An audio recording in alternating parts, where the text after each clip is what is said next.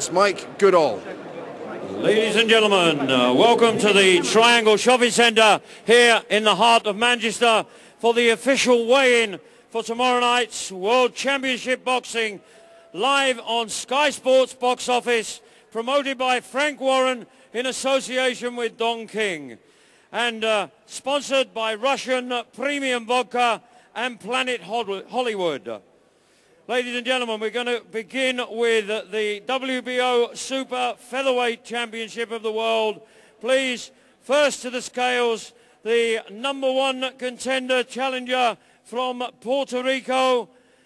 Please welcome Roman Martinez. the Puerto Rican, he's at 121 fights, 12 inside the distance, no defeats, and just the one draw. He's 26 years old, which is three years younger than Nicky Cook, and he is the bookmaker's favourite. He's about to step up on the scales now, and he has to, to make the nine stone four super featherweight limit. That's 130 pounds. Uh, what do you know about him, Ian? I think he's a very solid operator. Um, I don't think he's absolutely exceptional, but it's hard luck really on Nicky Cook that he straight away has to fight the mandatory challenger, a guy from Puerto Rico. You don't get too many bad fighters from Puerto Rico. And this fellow all week has given the, the impression that he really means business here. I think it's going to be a close, hard fight and might even go to a controversial points decision either way. Yes, Nicky Cook, of course, uh, won a split decision victory over Alex Arthur when the two met at the MEN Arena where, where, where they'll be back. He'll be defending his title tomorrow night. But uh, Cook, I think he says he's had an injection of confidence uh, since winning the world title, and he, he, feels himself a better fighter, more sure of himself. But this is a big test. You know, there's a little bit about the Daniel Aliceas just looking at uh, uh, Roman Martinez, the, the, chap, of course, that came over and knocked down Amir uh, uh, uh, Hamed famously. But here, here he comes on the scales now. Let's see if he makes the nine stone four limit.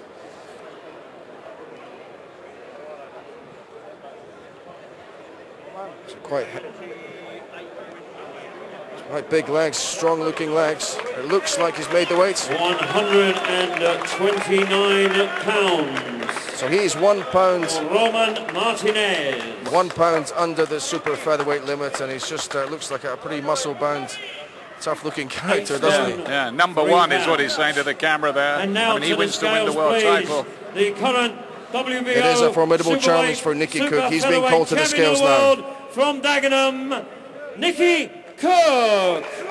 Nicky Cook, at 29 years of age, he's uh, had 29 victories, 16 inside the distance, only one defeat, that defeat in a challenge for the world featherweight title against the American Steve Luevano. He won the title, of course, as I said earlier, against Alex Arthur uh, last September in the Manchester Evening News Arena ring. Of course, he's trained by his father, Paul. They've been out in Tenerife in the build-up to this. Uh, they're enjoying the, the championship, aren't they, Ian? Yeah, they are. Cook's come back well, really, from that defeat by Luevano. I think he's much happier at super feather. 130 pound exactly, eight stone, four pound. So Nicky Cook exactly on the super featherweight limit, and now we'll get the two boxes squaring up, and you'll and you'll see that uh, Martinez is a slight, slightly taller. Although in actual fact, mm. Cook looks taller. The official listings are five foot six and a half for Cook, five foot eight for Martinez. But if anything, Cook looks taller there. Yeah, there's nothing in it between them. They're two solid operators. It should be a very good fight on the undercard. This. Yeah, Nicky Cook, uh, very busy fighter, comes forward, two-fisted attacks, and of course, we know what Puerto Ricans are like uh, in terms of aggression. Uh, these two won't have to go looking for each other, we think. So now, if uh, Marco Antonio Barrera is still absent, we should... I think Barrera has arrived. That's what I'm hearing. Barrera has arrived. Finally, so he's then. somewhere backstage. Maybe they, they struggled getting enough taxis for that 40-strong entourage he has. That's, that's probably what it is. But uh, just a matter of time, I think, before we see that. Or are they going to weigh in the Macaronelli fight first? I'm not sure. They're going to do the main it's one. It's the main event. Yeah, now, okay. Yes. Uh, Mike Goodall's about to call it the two main event. And now, ladies and gentlemen, the weigh-in for the tomorrow night's main event for the WBA and vacant WBO International Lightweight Championship. Firstly to the scales, please. Please welcome to England the man who hails from uh, Guadalajara in Mexico. He's the seven times three-weight world champion with a 71 fight professional record, winning 65 times. Ladies and gentlemen, please welcome the babyface assassin, Marco Antonio Barrera. what a reception for Marco Antonio Barrera. You would almost think that he was the home fighter here, but such is the regard for this three-weight world champion that uh, his supporters sound as though they're drowning out Khan's. But uh, he's been through this all before, Ian. He, know, he knows the ropes here all right at this level. He's been to Britain before too. He knocked out Paul Lloyd in a round at the Royal Albert Hall several years ago. That was a mismatch. Tomorrow shouldn't be. This is business as usual for Marco Antonio Barrera, but my goodness, this is now his 73rd professional contest. He turned professional at the age of 15 uh, he's been, as I say, a world champion at three weights, a seven-time world champion altogether, and his main ambition is become, to become the first Mexican to win four world titles at four different weights. And of course, he has uh, Don King in his corner to help make that happen. He's about to step on the scales now, and he needs to make the 135-pound, nine-stone nine lightweight limit.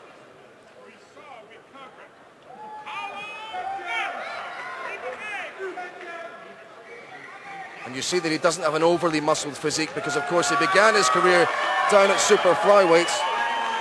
And it looks as though he may be over. They're pointing at the scales here. Let's just see. Three ounces over.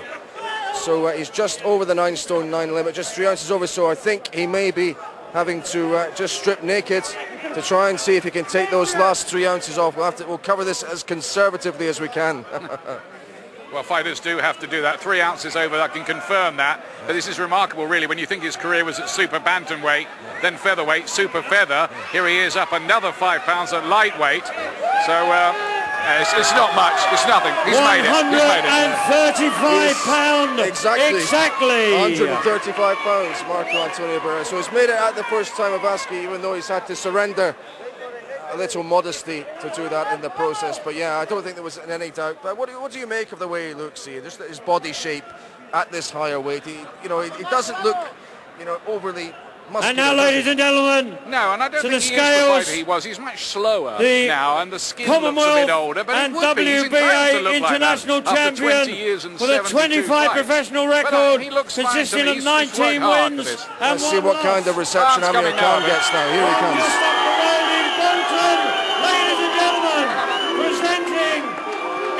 Very own Amir.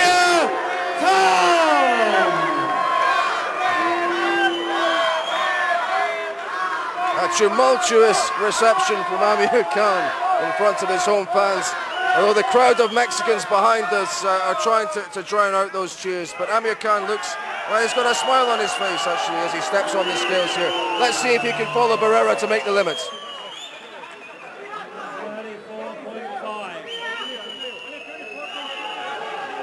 Think he is right on the limit. 134 and a half pounds. Just half a pound inside, but uh, he looks in tremendous condition. Of course, uh, he's much, much taller than... Uh,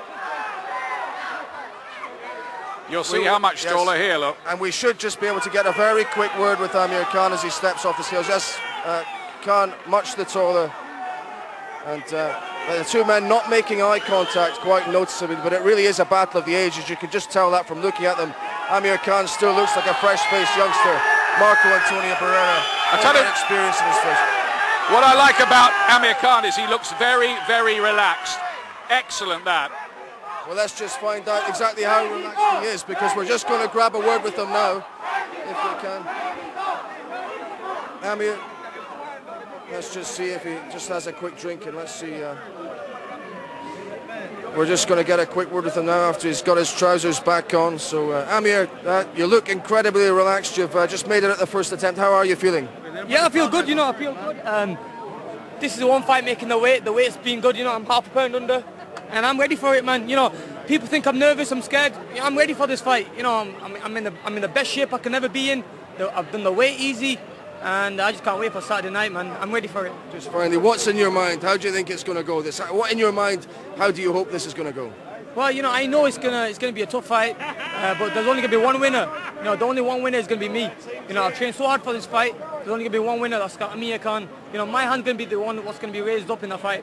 I mean, we wish you all the very best. Thank you very much for talking to us. Yep. Uh, good that Amir Khan just briefly stopped us there. But uh, yeah, chaotic scenes, organised chaos, as it always is. uh, Ian, at the briefest of words for you now, he believes he can do it. What do you think? I'm really impressed with how bullish he seems, how relaxed, how confident he seems. No sign at all of him tensing up on the on the eve of the fight.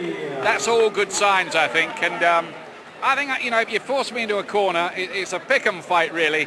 But I think I'm going to go for Khan here. Okay, good stuff, Ian. But I have to say, uh, the, the opinion on this really is split. But that's why we watch uh, top quality sport, I suppose, because we don't know what the result's going to be.